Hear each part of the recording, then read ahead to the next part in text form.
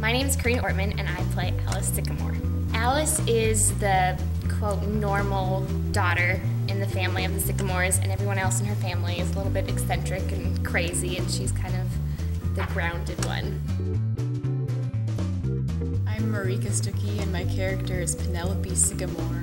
She's the mother of the romantic lead, Alice Sycamore. And she's a little kooky. She's very loving but socially awkward. She doesn't really know how to express her love, and she writes erotic plays as a hobby. My name is Jacob Brubaker, and I am playing Paul Sycamore. I play her somewhat oddball, distant, uh, strangely obsessed father. He's a little Okay. he's a little asocial, and he doesn't get along well with people that he doesn't know. And he spends most of his time making fireworks in the basement with various random people.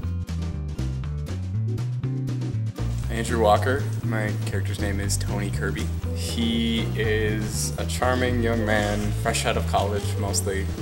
He works on Wall Street in his father's company, and he's in love with Alice. I'm Leah Tall, and I'm playing Mrs. Kirby. And I'm Aaron Cheddar, and I'm playing Mr. Kirby. They're the top of Wall Street, um, so they're high society and don't really have time for anything. They are rather serious individuals who enjoy their own personal time. And even though our characters are married, they don't really enjoy each other. No, not a bit.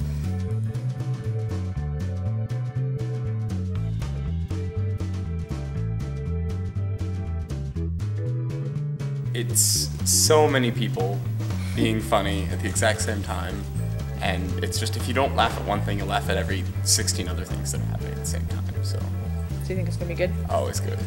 I think the show is incredible. I think there are some really, really talented people in wonderful roles in this show, and it's going to be it's going to be a good one.